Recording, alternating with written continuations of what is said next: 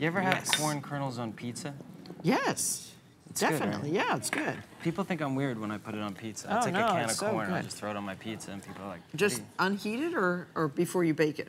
no. Before, well, I, I usually just buy the pizza and then I just take a can of corn and I, do you have to cook it? It's already cooked in the can, right?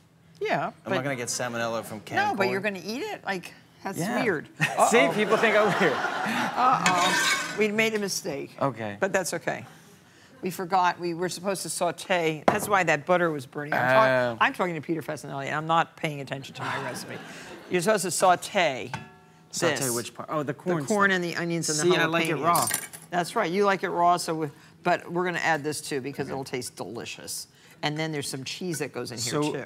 just to backtrack, we were supposed to take all those little goodies, throw it in the And butter pan, a little bit. Right. And But then- now it's going to be extra delicious, full of good things. Yeah. And then, and maybe I've saved a step. Maybe we'll find out that it's perfectly okay not to do that. And um, one and a half cups of cornbread. Uh, corn, uh, cornbread, cheddar cheese. Oh, I was. that's odd looking cornbread. That's very it looks like cheese. I'm thinking about something else.